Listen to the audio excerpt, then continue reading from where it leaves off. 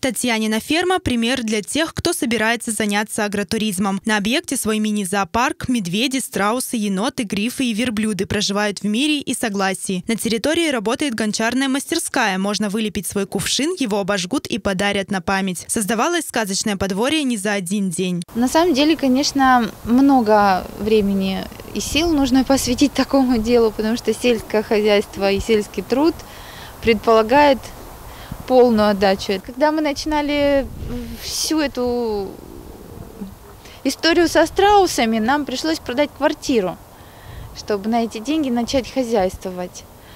Вот. И когда приходили в шок, приходили в, в, в, упадок, в убыток, хотелось все бросить, и звонили маме, она, конечно же, нас наставляла на путь истинный и говорила, что назад дороги нет, только вперед. На территории Анапского сельского округа создали краевую демонстрационную площадку. Собравшиеся обсудили, как же все-таки повысить популярность агротуризма. Выбрана Анапа не случайно, потому что здесь у нас э, большое количество отдыхающих приезжает, которым э, необходимо показать э, не только наши пляжи, не только наши курорты и санатории, но также как производятся наши продукты, показать экскурсионные маршруты наши, накормить их нашими кубанскими овощами, фруктами. Что такое сельское хозяйство, как им занимаются, увидеть не только сельское хозяйство, но и быт, культуру кубанских традиций. В обсуждении приняло участие более 100 человек, представители агротуризма, фермерского хозяйства и начинающие фермеры. Посещение страусиной фермы – наглядный пример. Показали, как в кубанских условиях заниматься разведением страусов, как сделать это дело интересным и прибыльным. Как привлечь туриста и сделать экскурсию интересной и увлекательной, мы решили спросить у сотрудников фермы. Каковы перспективы агротуризма?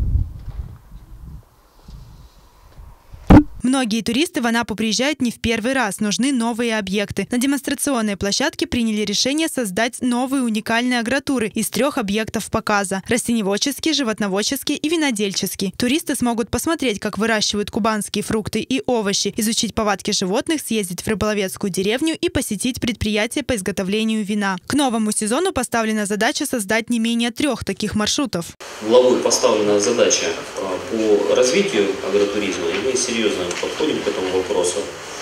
А, мы уже провели ряд встреч э, с, именно с представителями агротуризма, с претендентами, теми, кто потенциально э, будет э, развивать агротуризм свой, много у нас планов.